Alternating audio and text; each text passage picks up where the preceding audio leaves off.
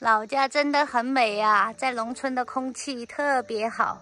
今天晚上本来我打算睡这车里，耿耿睡家里的，但是我们现在又要去城里啦。嗨，大家好，我是小薇，我今天回到农村老家了，就是来看看我妈妈。现在我们又要去城里，因为明天在成都还有事情。农村除了这个路不好，其他都挺好的。嗯。以后我们这边路也会全部硬化。其实这个路下面已经是硬化过的，就修路，每天被那些大货车啊、油那个泥罐车拉东西，弄得这么烂的。现在十点四十了，把车停到这里休息了一下，要准备接着走了。昨天晚上我们就住的这个公寓里面。把床车上的这个被子拿来了，我们一人睡一床，把灯都关好了。下一次不知道又要等什么时候再来了。我现在出发要去找一下财务，因为这个注册到这边就是要经常往这边跑，我又不放心，因为我这个人超级没安全感。像我做这个账号到现在很快就五年了，希望把事情忙完了就回去能跟小鹏见面。如果想着今天白天过来的话，到成都这边可能就下午了，因为也担心白天堵车嘛。热的拿铁就好了。之前也说过，一切都要稳稳的，慢慢来吧。有时候虽然我说过什么，答应了什么，有时候随着工作环境，随时都会做出调整，但是长期的那种大的规划，我是不会变的。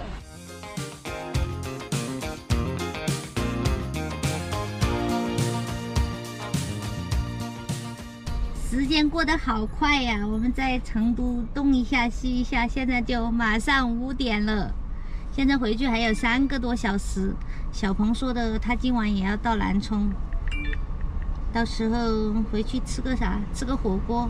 今天我们就要赶回去啊，所以说今天也不去那个太古里了。我之前来了成都好几次，我也没怎么去逛。先是到南充，八点，靠左前方进入主路。小鹏也说七点多能到吧。现在上高速了，回南充还有两个小时。到第一个服务区还有四十二公里，淮口服务区。不过那个地方加油也差不多，你看现在续航还有一百二十八公里了，昨天加的五百九十一，现在才跑了四百多。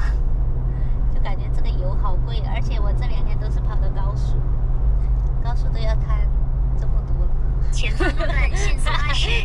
除这个车除了耗点油，别的目前还没有找到缺点。到了淮口服务区，在这边去加油。